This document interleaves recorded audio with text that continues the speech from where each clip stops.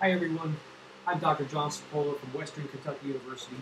We had a lot of questions this year from the All-State uh, saxophone piece that goes up to the high F sharp, so I thought I'd make another quick video and just talk to you about how to play some high notes. If you haven't played high notes, altissimo notes on the saxophone before, maybe we can give you a few little uh, pointers.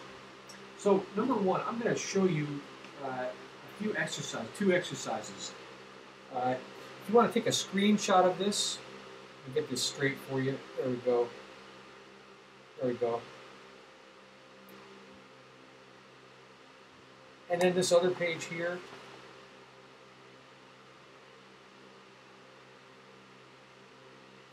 So the altissimo is not necessarily a fingering issue as much as an air, tongue, and uh, embouchure control issue.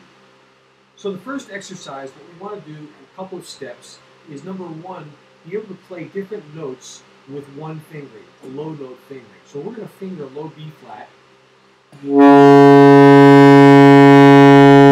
And notice I can play the low note by popping my F key like this at the same moment I, I release my air, and I don't have to use my tongue. Take a deep breath, release the air, and pop the finger at the same time.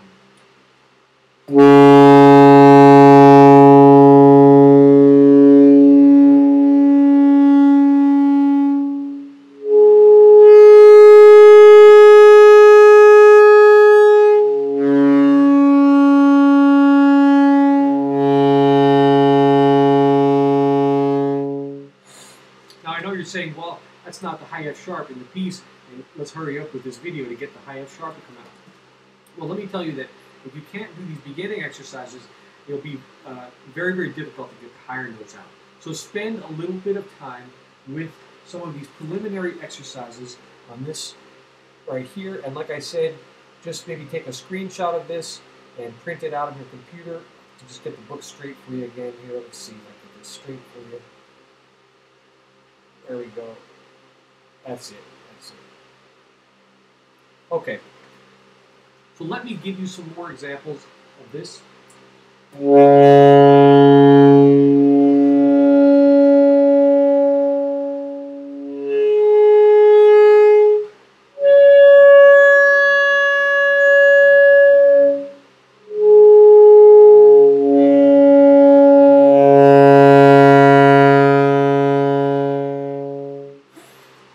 Now, I just played a low B flat, the octave above it, B flat, third line of the staff, the F on the top line of the staff, and then B flat, one ledger line above the staff. You can work through these exercises gradually. Uh, the next set is the other page that I showed you. And what I would recommend with this is to finger through these exercises, playing these exercises with these alternate fingerings right here. And the reason you're wanting to use these front keys, these E with the top key here and F like that, instead of your E and F like this, is because this has a different resistance to it. And when you use the front keys on the saxophone, that gives you a similar feeling to what you're going to feel like when you play an F sharp above the staff. So, uh, one other thought. Some of your saxophones may have a high F sharp key right here. You have your chromatic F sharp here, but the high F sharp is played with all three fingers in the left hand, the top key here, and this key right down here with your third finger. If you don't have this key in your saxophone, the alternate fingering is this top key, this key here, and the B flat key. Now, if we, uh, this is a very resistant note. It doesn't want to come out very easily on the saxophone. So, again, what I recommend is going through these exercises from a register in the saxophone that is easy to get out, like a C, and then work your way up through it with these front fingerings.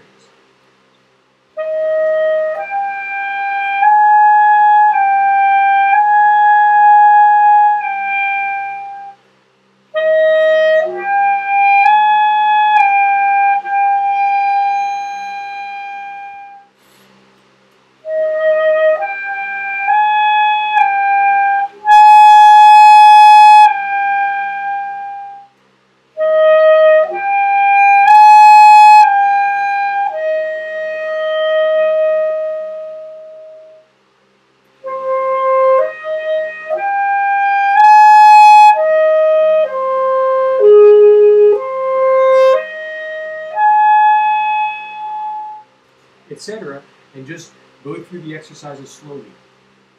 Please pay very, very careful attention to the position and the feeling inside your mouth of your tongue and of your air. You may have to manipulate the position of your tongue and your air to get this front note, this front fingering of the E and the F to speak. Now, how to finger the F sharp, like I said, with the top front key here, the A key, and this side B flat key. Once you're able to get some control over the E and the F, next we'll try to add this side key here. So, so up from C,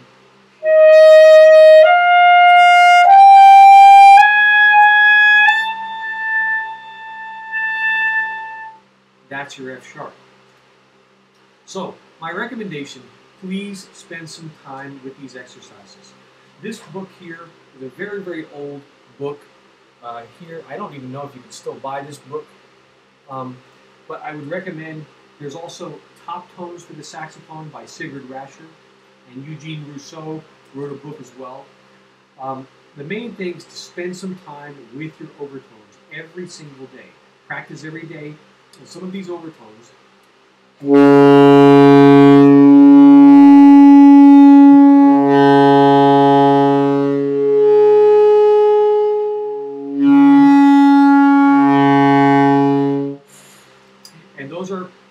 I showed you earlier in this video. And also, if you buy the Sigurd Rascher Top Tones book, you'll have a series of exercises in those, in that book as well. I wish you all good luck, and please be in touch. Uh, any uh, Kentucky high schoolers that are having some more trouble, let me know uh, on email. You can reach me at WKU uh, through uh, john.cipolla at wku.edu. J O H N dot C I P O L L A at wku.edu. Thank you very much and have a good week.